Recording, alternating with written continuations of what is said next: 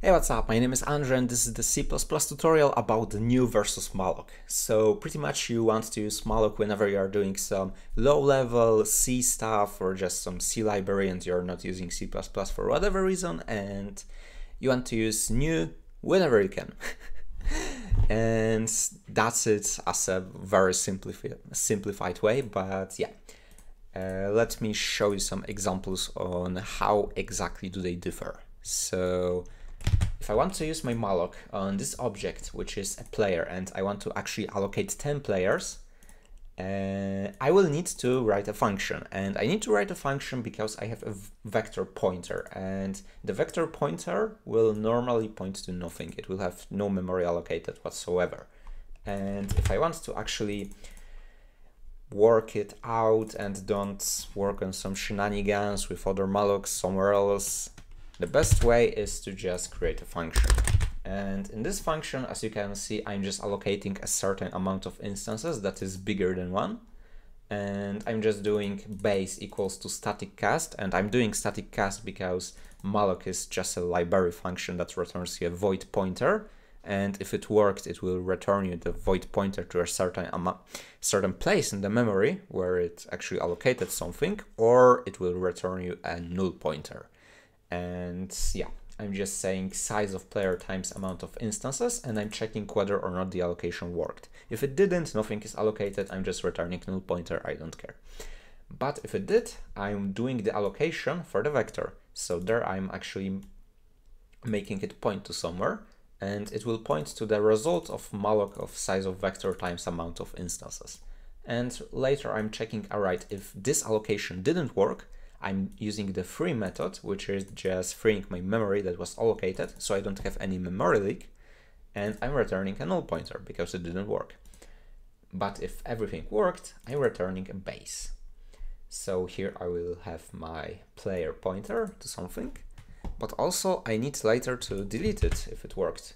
So I need a function that checks, alright, if the past pointer is valid, then I'm doing a free on the vector and free on the pointer itself. So I don't have any shenanigans with anything and I don't have my memory leak.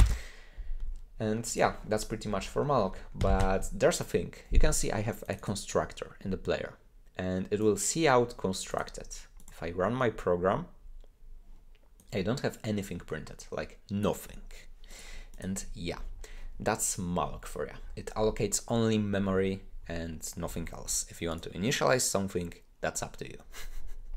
but since C++, we've got our new and also delete.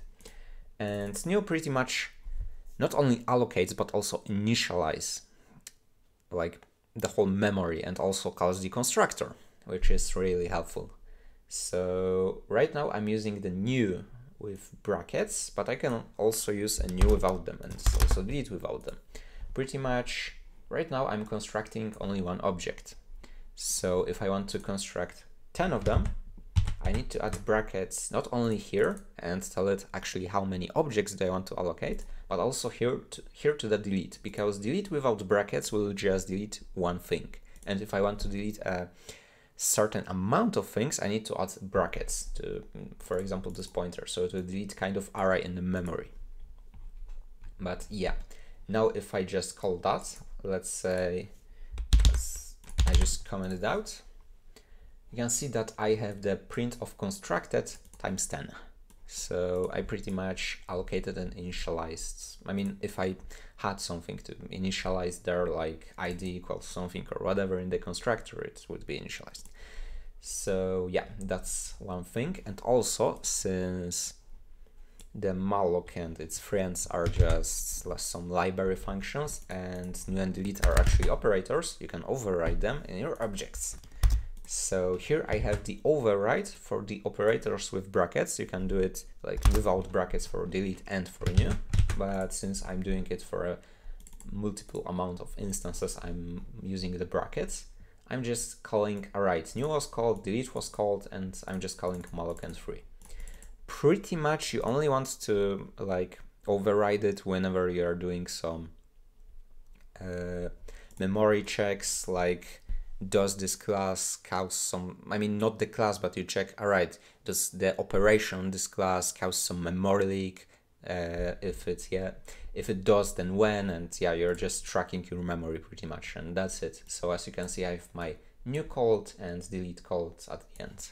So yeah also the thing that malloc and his friends can do and new cannot is uh, changing the place where you allocated stuff because you have the recalloc and that's pretty much it for new, you can also tell it where you want to start the allocation by writing it like that. And sometimes it can optimize your code, but also it depends and it's not like for just the differences of the basics of those uh, two things. And yeah, that's pretty much it. Thank you for watching and I see you in the next one. Bye.